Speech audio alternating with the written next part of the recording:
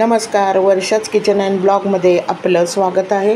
आपण छोट्या छोट्या किचन टिप्स बघणार आहोत की त्या झ झटपट आपल्याला किचनमध्ये उपयुक्त ठरू शकतात. पहिली किचन टिप शेंगदाणे पा शेंगदाण्याला पाण्याचा हात लावला तर ते दाणे खमंग भाजले जातात.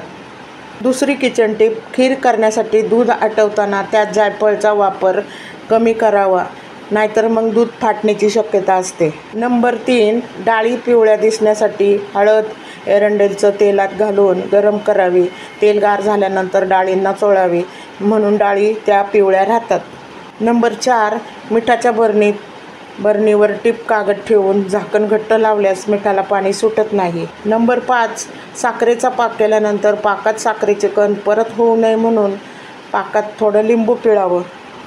नंबर सहा शिळा ब्रेड उन्हात वाळून चुरा करून ठेवल्यास कटलेट तयार करताना त्यांची चांगली चव येते. टिप क्रमांक सात फ्रीजरमध्ये बर्फाचा ट्रे ठेवताना त्याच्याखाली प्लास्टिक पेपर ठेवावा. त्याने ट्रे चिटकत चट चटकन निघतो. क्रमांक आठ चहाच्या भांड्याला डाग पडले असतील तर त्या भांड्याला मीठ लावून घासावं. टीप क्रमांक नऊ पालक शिजवताना तो कच्चा मिक्सरमध्ये